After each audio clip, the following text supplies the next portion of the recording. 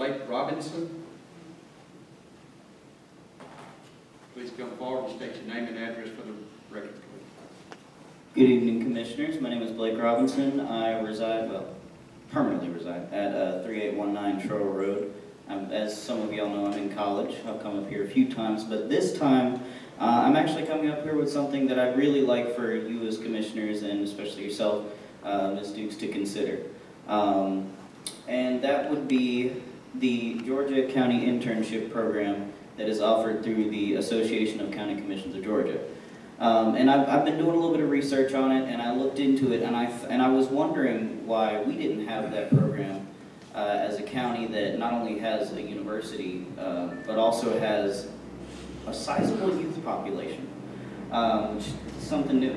Uh, but just to run down a few facts and a little bit of information about the program itself, so y'all can take that into consideration a bit. Uh, the mission of the program is to offer firsthand internship experiences to undergraduate and graduate level college students uh, in county government. And each summer internships, or each summer internship um, is offered across a broad spectrum of academic disciplines, ranging from accounting uh, to wildlife sciences in county government offices throughout the state. And since the state was created in, since the program was created in 2010, uh, 500 students have filled internship positions in 87 counties throughout the state. And so, the- some goals of, of the program are that it enables counties to hire talented young college students for specific projects that will benefit county government and its citizens. Uh, it gives students a chance to learn firsthand about the role of counties and functions of local government. It provides practical work experiences the students can use in the job market upon graduation, and it inspires young people to a life in public service leadership.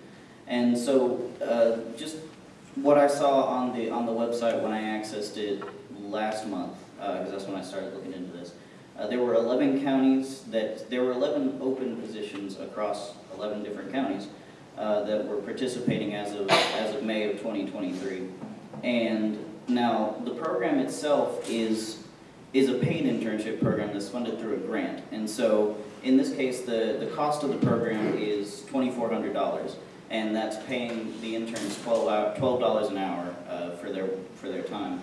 Uh, and that includes uh, FICA and a WC supplement as well. And to receive the grant, interns must be doing hands-on projects and that advance the mission of the county. And that's and the reason why I mention that is because you know sometimes interns usually get put to clerical work. I should know I'm doing that now, kind of. um, and but it also says that one one mistake to avoid is projects that are mostly data entry and administrative work. So for for this, there are three types that you can the, of internship program that you could that we could possibly consider. Sorry. Uh, and that's a general internship that could go anywhere, and then an environmental management focused internship, and then a health and human services focused internship. And so, with that in mind, um, I, I had two ideas that I thought uh, I would love for you all to consider, and we could, I'd definitely love to meet with, with members of the commission to talk about this. Uh, but my first proposal, my first idea is an internship that is that is specifically focused on one office or department. So, for example, working with the county manager's office, um, working with you know public works or utilities or the county attorney or you know whatever. Um, and then my my second thought would be that maybe we maybe an intern could work across or, or with the board directly. So working with the numerous commissioners on maybe a project that maybe a commissioner or two want to see want to see happen in the county uh, or the board as a whole.